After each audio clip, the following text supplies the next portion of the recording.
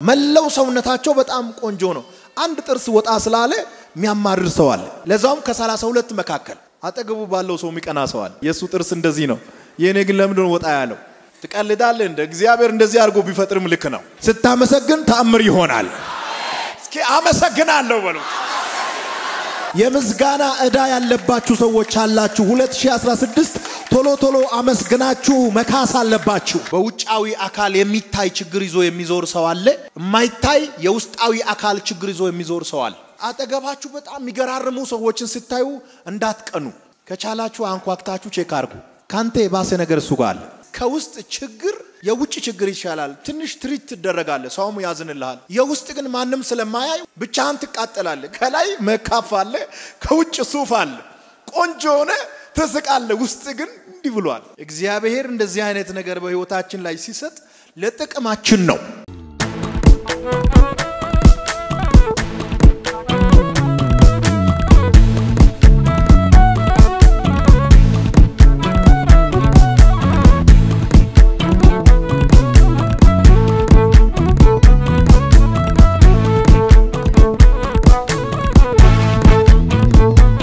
የመጽሐፍ ቅዱስ ክፍል ሁለተኛ ቆሮንቶስ ምዕራፍ 12 ከቁጥር 7 ጀምሮ ያለውን ክፍል አብረን እንመለከታለን። ስለዚህም በመገለጥ ታላቅነት እንዳልታበይ የሥጋዬ መውጊያ እርሱም የሚጎስመኝ የሰይጣን መልእክተኛ ተሰጠኝ። ይኸውም እንዳልታበይ ነው። ስለዚህ ነገር ከኔ እንዲለይ ሶስት ጊዜ ጌታን ለመንሁ። እርሱም ጸጋዬ ይበቃል፣ ኃይለ በድካም ይፈጸማልና አለኝ። እንግዲህ የክርስቶስ ኃይል ያድርብኝ ዘንድ በብዙ ደስታ በድካሜ ሊመካ እወዳለሁ። የስብከተ ርዕስ ያደረግኩት የማይነቀል ስቃይ ይላል። ከነቢይ ነቢይ አፈራርቄ ከጸሎት ቦታ ወደ ጸሎት ቦታ ዞሬ መቀየር የማትችለው ስቃይ። እሱ ስቃይ ለክብር ነው።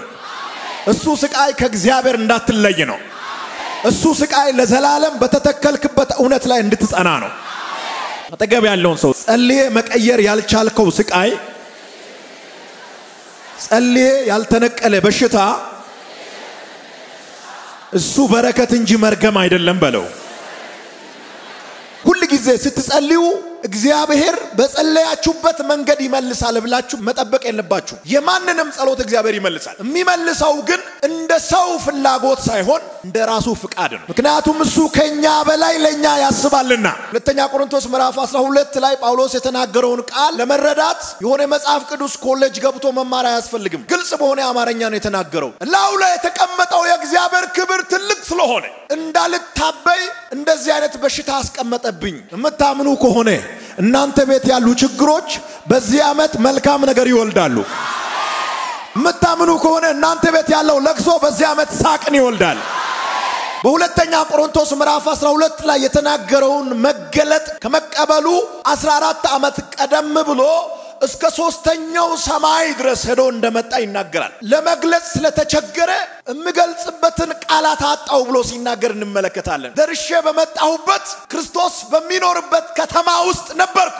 እዛ ጉባኤ ውስጥ የሚያወሩት ቋንቋ በእኔ የሚገለጽ አይደለም፣ ሰምቼ የማላውቀው ቋንቋ ነው ይላል። በአዲስ ቋንቋ ሲያወሩ ሰማው። ከሰው አእምሮ በላይ የሆነ ነገር ሰምቼ ነው የመጣሁት ብሎ መተንተን ስላልቻለ ማብራራት አቅቶት ሲገረም እንመለከታለን። ወደ ሶስተኛው ሰማይ ደርሶ ሲመለስ አንድ ትልቅ ነቢይ ያለበት አላልኩም፣ እግዚአብሔር ራሱ የሚኖርበት ከተማ ደርሶ የመጣው ሰውየው ከበሽታ ጋር ነው የተመለሰው። ይህንን መገለጥ ይዞ የመጣው ከሶስተኛው ሰማይ ነው። ሲመጣ ግን በሽታው አለ። እግዚአብሔር እንደዚህ ያለ በድካምህ ኃይል ይፈጸማል።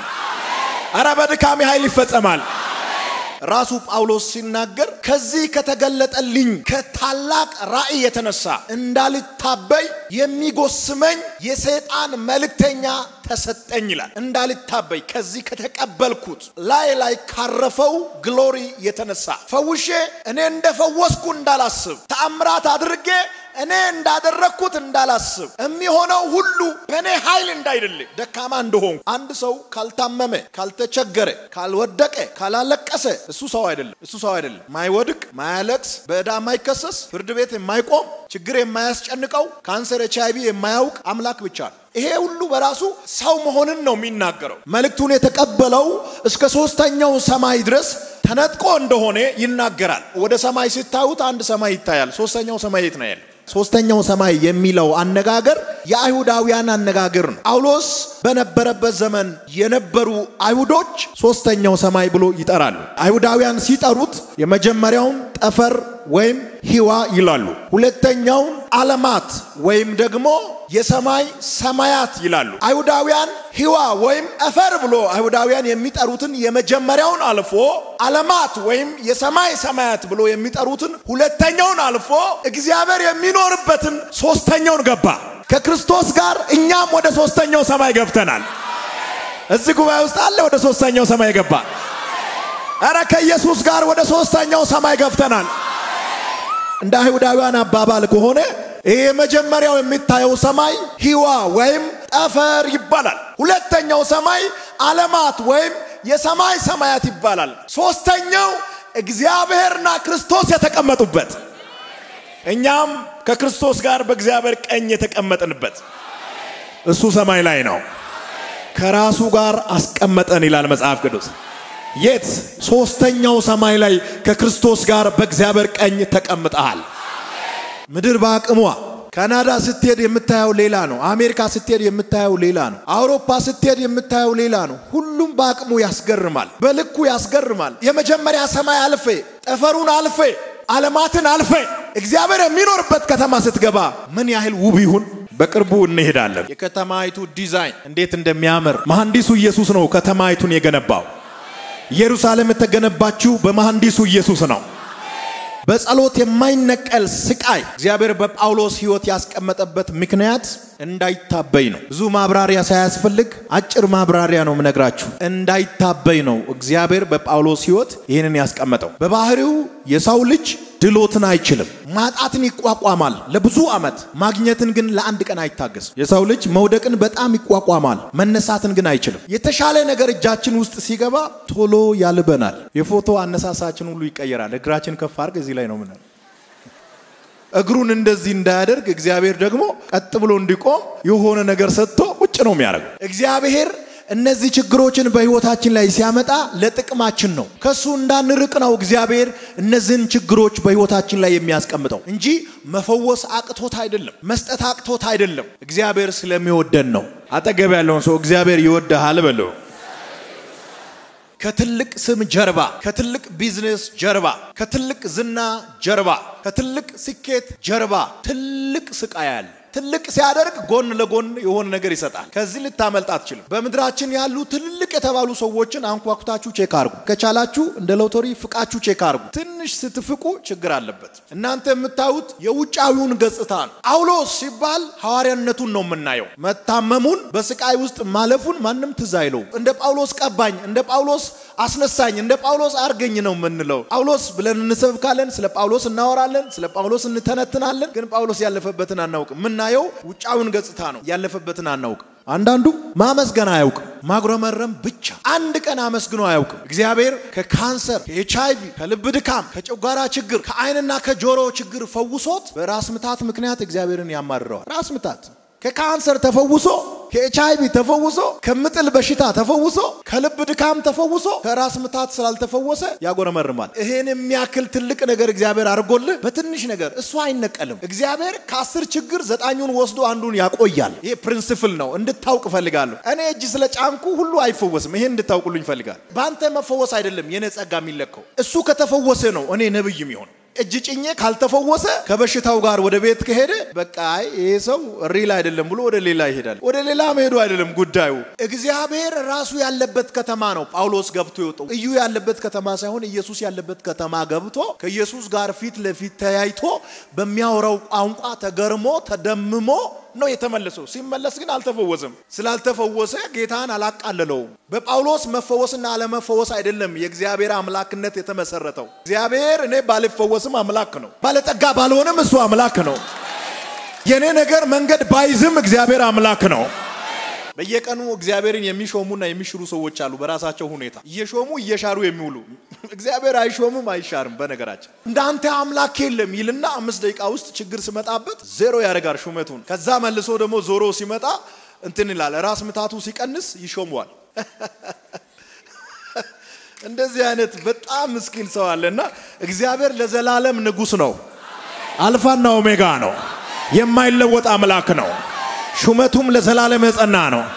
እሱ ይሾማል እንጂ አይሾምም፣ ይለውጣል እንጂ አይለወጥም። አሜን አሜን። በጣም እግራቸው ቆንጆ ነው፣ እጃቸው ቆንጆ ነው፣ አይናቸው ቆንጆ ነው፣ መላው ሰውነታቸው በጣም ቆንጆ ነው። አንድ ጥርስ ወጣ ስላለ የሚያማርር ሰው አለ።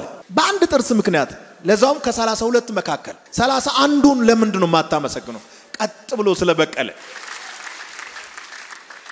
ሰላሳ አንድ ነው የሚበልጠው ወይስ አንድ ነው? ቤተኛው ሂሳብ ነው። ግን አጠገቡ ባለው ሰው የሚቀና ሰዋል። እሱን እንደዚህ ፈጥረ፣ የእሱ ጥርስ እንደዚህ ነው፣ የእኔ ግን ለምንድን ወጣ ያለው? ትቀልዳለህ? እንደ እግዚአብሔር እንደዚህ አድርጎ ቢፈጥርም ልክ ነው። እንደዚህ አድርጎ ማለት ነው። ስምንት አድርጎ ከሰራም አሜን ብለህ መቀበል ነው። ስታመሰግን ተአምር ይሆናል። በምስጋና የሚቀየር ነገር አለ። እስኪ አመሰግናለሁ በሉ። ድገሙልኝ። አመሰግናለሁ፣ አመሰግናለሁ፣ አመሰግናለሁ። የምስጋና ዕዳ ያለባችሁ ሰዎች አላችሁ። 2016 ቶሎ ቶሎ አመስግናችሁ መካስ አለባችሁ። ለማካካስ ቶሎ ቶሎ ማመስገን አለባችሁ። በውጫዊ አካል የሚታይ ችግር ይዞ የሚዞር ሰው አለ። የማይታይ የውስጣዊ አካል ችግር ይዞ የሚዞር ሰው አለ። ሁለቱም ግን ችግር አለበት። እንደዚህ እያለ የሚሄድ ሰው ሲታይ በጣም አይደለ? እሱ እንደዚህ እያለ ነው የሚሄደው። አንተ ግን ቀጥ ብለህ እየሄድክ በውስጥ ታነክሳለህ። ቀጥ ብለህ ትሄዳለህ፣ ውስጥ ግን እንደዚህ ነው። ሁለታችሁም ላይ እንደዚህ አይነት ችግር አለ። አጠገባችሁ በጣም የሚገራርሙ ሰዎችን ስታዩ እንዳትቀኑ። ከቻላችሁ አንኳኩታችሁ check አርጉ። ካንተ የባሰ ነገር እሱ ጋር አለ። ከውስጥ ችግር የውጭ ችግር ይሻላል። ትንሽ ትሪት ትደረጋለህ፣ ሰውም ያዝንልሃል። የውስጥ ግን ማንም ስለማያይ ብቻህን ትቃጠላለህ። ግን ከውጭ በኩል ቁስል ካለ ሰው ተነስቶ ቦታ ይሰጣል፣ አይዞ ይላል፣ ትሪት ያደርጋል፣ ዘይት ይቀባል፣ በርታ ይላል፣ ተስፋ ይሰጣል። ውስጥ ላይ ያለውን ሰው ስለማያይ ከላይ መካፍ አለ፣ ከውጭ ሱፍ አለ። ቆንጆ ሆነ ትስቃለ፣ ውስጥ ግን እንዲህ ብሏል። ልዩነቱ በመታየትና ባለመታየት መሃል ነው ያለው። የእሱ ይታያል፣ ያንተ አይታይም። የሁለቱም ህመም እኩል ነው። እግዚአብሔር እንደዚህ አይነት ነገር በህይወታችን ላይ ሲሰጥ ለጥቅማችን ነው። ጳውሎስ መመካት ቢፈልግ በርካታ የሚያስመኩ ነገሮች ነበሩት። የመጀመሪያው በርካታ አብያተ ክርስቲያናትን የመሰረተ ሰው ነው ጳውሎስ። በጣም ብዙ ቤተ ክርስቲያንን የተከለ ሰው ነው ጳውሎስ። ሁለተኛው ብዙ ስጦታዎችን ከመንፈስ ቅዱስ የተቀበለ ሰው ነው። ሶስተኛው ታላላቅ ምልክቶችንና ተአምራቶችን ያደረገ ሰው ነው ጳውሎስ። መመካት ቢፈልግ በቂ ነገር አለው። እሱ ብቻ አይደለም። በትምህርት የህግ አዋቂ ነው። በዘር ፈረሳዊ ነው።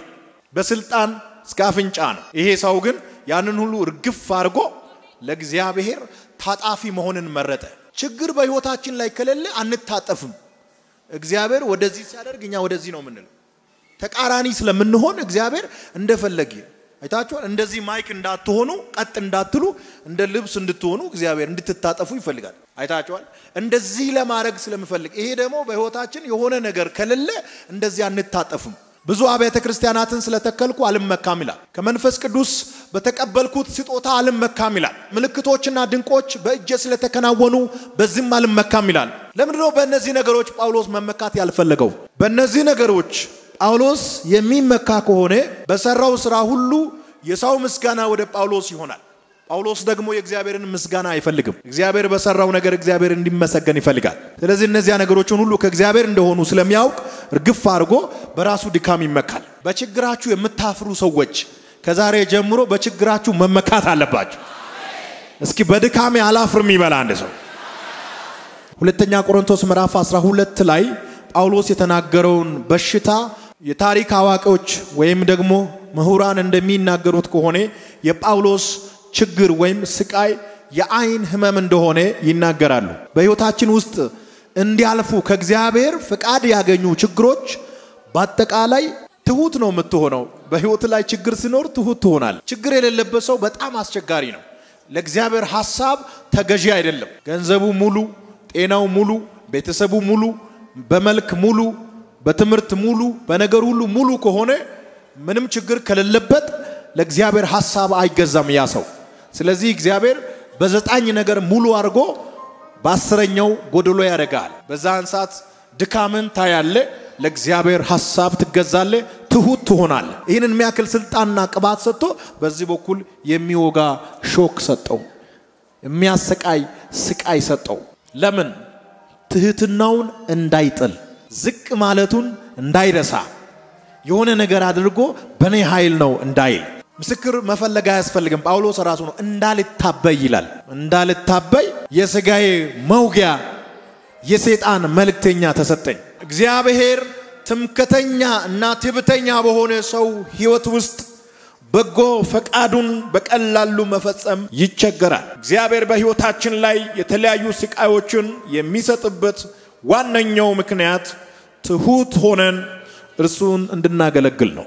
ይህ እሾህ ወይም ስቃይ የተሰጠን ለመንፈሳዊ ሕይወታችን ጥቅም ነው። የማትፈልጉት ነገር በሕይወታችሁ ላይ ሲመጣ እግዚአብሔር ምን አይነት አምላክ እንደሆነ መፈለግ ትጀምራላችሁ። ድሮ የተዋችሁትን ነገር ማንሳት ትጀምራላችሁ። ከእግዚአብሔር ጋር ያለውን relationship እንደገና ማደስ ትጀምራላችሁ። በአማኝ ሕይወት የሚመጣው ችግር ለመንፈሳዊ ሕይወት በጣም ይጠቅማል። ዕብራውያን ምዕራፍ 12 ከቁጥር 10 ጀምሮ እስከ 11 ድረስ ባለው ክፍል ማየት ትችላላችሁ። ጳውሎስ ሲናገር ስቃዩ የመጣው ከሰይጣን ነው ይላል። ማንኛውም ችግር ምንጩ ሰይጣን ነው። እዚህ ጋር ማወቅ ያለብን ነገር አለ። በሽታ ይሁን ማጣት ይሁን ማልቀስ ይሁን ጭንገፋ ይሁን የተኛውም ችግር ስም ያለው ማንኛውም ችግር ምንጩ ሰይጣን ነው። በሕይወታችን ላይ እነዚያ ችግሮችን ይዞ የሚመጣው ሰይጣን ነው። እንደዚህ ከሆነ አንዳንድ ጊዜ እንገረማለን። እንዲህ መጽሐፍ ቅዱስ እግዚአብሔር በክፉ አይፈትንምና ይላል። በክፉ የሚፈትን ሰይጣን ብቻ ነው። እግዚአብሔር ያንተን strength ለመለካት ካንሰር አይልክም። ሰይጣን ነው ካንሰር ይዞ የሚመጣው። ግን እዚህ ጋር ማወቅ ያለባችሁ ነገር አለ። ሰይጣን አንተ ላይ ካንሰር ማምጣት ሲፈልግ ፍቃድ ይጠይቃል። head office ሄዶ እንደዚህ አይነት ሰውን በዚህ አይነት በሽታ መምታት ፈልጋለሁ ብሎ document አቅርቦ እግዚአብሔር approve ሲያደርግለት ብቻ መጥቶ ነው ሚነካው እንጂ ዝም ብሎ ሰይጣን ብድግ ብሎ በበሽታ አይመታ። እንደፈለገ እዩን ቢያደርግ ሲፈልግ ወደ ላይ ከዛ ጠብቆ ደግሞ ወደ ጎን ከዛ ጠብቆ ደግሞ ወደ ታች የሚያደርግ ከሆነ ሰይጣን ከእግዚአብሔር ቁጥጥር ውጭ ነው። እንደዚህ ሊሆን አይችልም። እዩ ላይ የሆነ ነገር ማድረግ ሲፈልግ ወደ እግዚአብሔር ይሄድና ተረኛ ሆኖ ተሰልፎ ይጠይቃል። ዝም ብሎ ኢዮብ ጋር መጥቶ ድብልቅልቁን ነው ያወጣው ወይስ ወደ እግዚአብሔር ነው የሄደው? ወደ እግዚአብሔር ነው የሄደው። ሰይጣን ጠየቀው። ኢዮብ የሚባል ሰው አለ፣ ባለጠጋ ነው፣ መልከ መልካም ልጆች አሉት። he's rich ስሙ በጣም ታላቅ ነው፣ ዝነኛ ነው። አንተን እሱ የሚያከብረው ዝነኛ ስለሆነ ነው። በሚኖሩበት ከተማ አንቱ ተብሎ ስለሚጠራ ነው። መልከ መልካም ልጆች ስላሉት ነው፣ ገንዘብ ስላለው ነው ብሎ ሲል እግዚአብሔር ምን ትፈልጋለህ አለ። እኔ አሁን ሄጄ ያለው ነገር በሙሉ ቢመታው አሁኑኑ ነው ከአንተ ጋር የምጣለው አለ። ሂድና አጥፋ። ከእግዚአብሔር ፍቃድ ያገኘ ሰይጣን በአንድ ቀን ብዙ ሺህ ግመሎችን፣ ብዙ ሺህ በጎችን፣ ብዙ ሺህ ሀብት በማይክሮ ሰከንድ ውስጥ ደመሰሰ።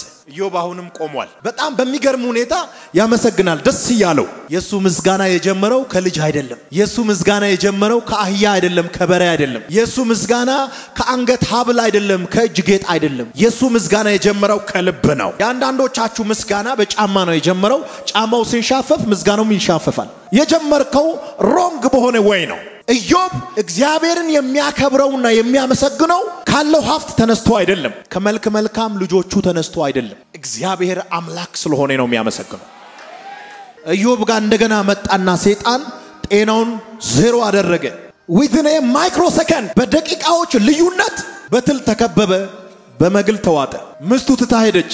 ቤት ውስጥ ያለው ሰራተኛ በፊት ገና እሱ ከደጅ ሲደርስ ከበር ላይ ሲደርስ መጣ መጣ የሚለው የቤት ሰራተኛ ሁሉ ተጠርቶ አቤት ማለቱን አቋረጠ። በበሰበሰ ጊዜ አልጋ ላይ በተኛ ጊዜ በደቂቃዎቹ ልዩነት የትል ጓደኛ ሆነ፣ የመግል ቤተሰብ ሆነ። ቤት ውስጥ ያለው ሰራተኛ ሲጠራ አቤት ማለትን አቋረጠ። ምክንያቱም የተላ ሰው፣ የገማ ሰው፣ የበሰበሰ ሰው፣ በትል የተከበበ ሰው፣ በመግል የተዋጠ ሰው ተነስቶ ተጽዕኖ ይፈጥራል ተብሎ ስለማይታሰብ የቤቱ ሰራተኞች አቤት ማለቱን አቋረጡ። ይሄ ሰው ግን ተልቶ ጀርባውና ሆዱ እጁና እግሩ መላው ሰውነቱ በስብሶ አሁንም ይዘምራል። አንዳንድ ጊዜ ስንታመም ሰይጣን ከእግዚአብሔር ቁጥጥር ውጭ ሆኖ የሆነ ሾልኮ መጥቶ የመታን ይመስለናል።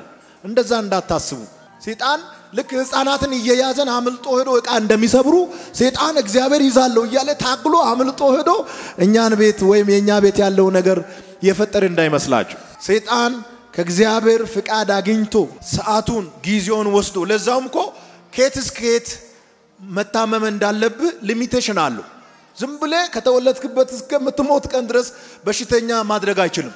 እግዚአብሔር ፓኬጁን ቆርጦ ነው የሚሰጠው። ከዚህ እስከዚህ ብሎ ነው እንጂ ለሰይጣን በቃ አንድ ሰው ከዚህ እስከ ዘላለም በሽተኛ አድርገው ብሎ ፈቃድ አይሰጥም። ኢዮብ ለዘላለም ነው የታመመው ወይስ ለጥቂት ጊዜ ነው?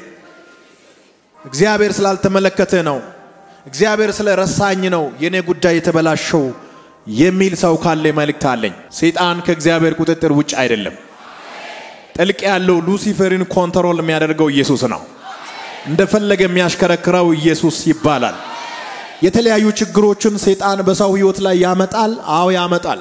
ከመጽሐፍ ቅዱስ ክፍል ሉቃስ ምዕራፍ 13 ቁጥር 16ን ማየት ትችላላችሁ። ይሁን እንጂ ሰይጣን ከእግዚአብሔር ቁጥጥር ውጭ አይደለም። ከእግዚአብሔር ውጭ በሆነ መንገድ ሰይጣን በህይወታችን ላይ ምንም ሊሰራ እንደማይችል መጽሐፈ ኢዮብ ምዕራፍ 1 ቁጥር 6 እስከ 22 ድረስ ባለው ክፍል ማየት ትችላላችሁ። ሁለተኛው የመጽሐፍ ቅዱስ ክፍል አሁንም ኢዮብ ምዕራፍ 2 ቁጥር 1 እስከ 10 ማየት ትችላላችሁ። በክፉ የሚፈትነን ሰይጣን እንጂ እግዚአብሔር አይደለም። ለዚህ ደግሞ የመጽሐፍ ቅዱስ ክፍል ያዕቆብ ምዕራፍ 1 ቁጥር 13 እግዚአብሔር እሱን በሚወዱ ሰዎች ላይ የሚያመጣውን ክፉ ነገር ሁል ጊዜ በመልካም ያሸንፈዋል። ዘፍጥረት ምዕራፍ 37 ቁጥር 28 አሁንም ዘፍጥረት ምዕራፍ 45 ቁጥር 4 ሮሜ 8 28 ሰይጣን በጣም አስመሳይና ጮሌ ስለሆነ ከእግዚአብሔር መንገድ ተንሸራተን ከእርሱ ጋር እንድንጣላ ከእግዚአብሔር ጋር ተጣልተን ከእሱ ጋር እንድንጣበቅ ስለሚፈልግ ሰይጣን wrong የሆኑ evidence ኦችን ይዞ ይመጣል። እስካሁን ድረስ ለአራት ዓመት ጸልያል፣ ለአምስት ዓመት ጸልያል፣ ምንም አልሆነም። ሳታቋርጥ ወደ church ትሄዳለ፣ ከሰው ቀድሜ መባ ትሰጣለ። አስረት ከሆነ አንድ ቀን ጃምፕ አታረግም። እንዳንተ አማኝ የለም ግን ምንም አልሆነልህም እያለ እውነት የሚመስል ውሸት አምጥቶ ለማሳመን ይታገላል። በዚህን ሰዓት ደካማ ክርስቲያን ከሆንክ ወዲያው ታምንና ለእግዚአብሔር ጀርባ ሰጥተህ ለሰይጣን ፊትን ትሰጣለህ። ከእግዚአብሔር መንገድ ትወጣለህ። ከዛ በኋላ ድቅድቅ ጨለማ ውስጥ ትገባለህ። ሰይጣን ብርሃን አይደለም ግን ብርሃን ይመስላል። ሰይጣን እውነት አይደለም ግን እውነት ይመስላል። ጸልዮ እኮ ጸሎቱ ያልተመለሰለት ጳውሎስ ብቻ አይደለም፣ ኢየሱስ ራሱ መስቀል ላይ ሆኖ ጸልዮአል። በጌተ ሰማኒ ኢየሱስ ራሱ መስቀል ላይ ሆኖ ጸልዮአል። አባቴ ሆይ ፈቃድህ ቢሆን ይቺ ጽዋ ከኔ ትለፍ ትለፍ። በቃ መጠጣት አልፈልግም ማለቱ ነው። ፈቃድህ ቢሆን ይቺ ጽዋ ከኔ ትለፍ፣ ሳልቀምስ ትለፍ። እቺ የመስቀል ሞት ያንተ ፍቃድ ከሆነ በመስቀል ላይ እንዳልሞት እርዳኝ ብሎ ሲጸልይ እግዚአብሔር መልሶለታል ወይስ አልመለሰለትም? መልሶለታል። ግን ኢየሱስ በጸለየበት መንገድ ሳይሆን በሌላ መንገድ ነው የመለሰለት። ጸልየን እግዚአብሔር ያልመለሰበት ጊዜ የለም። ለምንድን ነው ለእኛ ያልተመለሰልን የመሰለን? በጠየቅነው መንገድ ስላልተመለሰ። እኛ ተመልሷል ብለን የምናምነው በጠየቅንበት መንገድ እግዚአብሔር ቀጥታ ስልክልን ነው። በሌላ መንገድ እግዚአብሔር ከመለሰልን መመለሱን አናውቅም። ገና ነው እንላለን፣ ግን ጠዋት ነው የተመለሰው። በዚህ አጋጣሚ አንዳንዶቻችሁን ላነቃችሁ እፈልጋለሁ። ጸሎታችሁ ተመልሶ ቆይቷል። የተመለሰው ግን በጸለክበት መንገድ ሳይሆን እግዚአብሔር በፈለገው መንገድ ነው። እሱ ይሻላል የሚል ሰው አሜን ብሎ ይቀበል። መስቀል ላይ ነው ኢየሱስ ተጨንቋል። ፊቱ ተጨማዷል። እንባ ይፈሳል። ተስፋ መቁረጥ ውስጥ ነው ያለው። ገዳዮች ከፊቱ ቆመዋል። በግራና በቀኝ ያሉ ወንበዴዎች አሉ። እንግዲህ ኢየሱስ ፍጹም ሰው ነው። መጽሐፍ ቅዱስ እንደሚናገረው እንግዲህ ሰው ሞትን ይፈራል። 12 ሰዓት ትሞታለህ ብትባል እዚህ አትገኝም። ትብጨረጨራለህ። ከዛ ሞት ለማምለጥ ባለስልጣን ጋር ትደውላለህ፣ ዳኛ ጋር ትደውላለህ፣ ፖሊስ ጋር ትደውላለህ። ገንዘብ ያለበት ይዜና፣ ባንክ ውስጥ ያለው፣ ንግድ ውስጥ ያለውን ይዜና፣ ዳሽን ውስጥ ያለውን ይዜና፣ ብርሃን ውስጥ ያለውን ይዜና ትላለህ። ትጨነቃለህ፣ stressful ትሆናለህ፣ ትወጠራለህ። ኢየሱስ በዚህ አይነት ጭንቅ ውስጥ ነው ያለው፣ ተሰቅሎ ነው ያለው። ለመጨረሻ ጊዜ ነፍሱ ልትወጣ ነው፣ መራራ እየጠጣ ነው።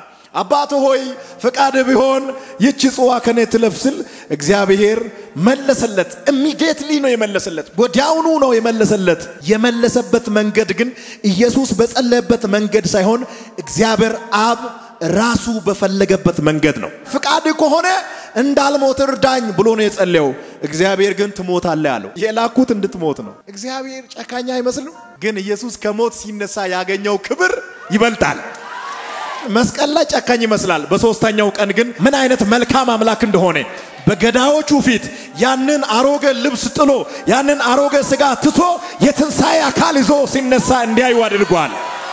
እርዳኝ፣ ላፍታ እርዳኝ no እዚህ መስቀል ላይ እንዳልሰቃይ እርዳኝ no አርብ ትዋረዳለህ፣ እሁድ ትከብራለህ፣ ዛሬ ትሞታለህ፣ በሶስተኛው ቀን ትነሳለህ። እግዚአብሔር ስትጸልዩ ዝም ካለ ሊክሳችሁ ነው። እግዚአብሔር የኢየሱስን ጸሎት በጸለየበት መንገድ ያልመለሰው የመጽሐፍ ቅዱስ ክፍል የት ነው የምትሉኝ ሰዎች ማቴዎስ ምዕራፍ 26 ቁጥር 39ን ማየት ትችላላችሁ። ፍልስፍና የለም እኛ ጋር የእግዚአብሔር እስተንፋስ የሆነ የእግዚአብሔር ቃል አለ። ከዚህ ነው የምናወራው። የጸለይንበትን ጉዳይ በጸለይንበት መንገድ አይደለም መጠበቅ ያለብን። አንተ አምስት ቀን ውስጥ ብለህ ትጸልያለህ፣ እግዚአብሔር በሀምሳ ቀን ውስጥ ፕላን ያደርጋል። አንተ በአንድ ሳምንት ውስጥ ብለህ ትጸልያለህ። አንዳንድ ጊዜ እግዚአብሔር ከሰዓት በኋላ ቀና ስትል እጅ ላይ ያስቀምጣል። የምንጸልየውን ጸሎት እንደ ፍቃዳችን ሳይሆን እንደ ፍቃዱ ይመልስልናል።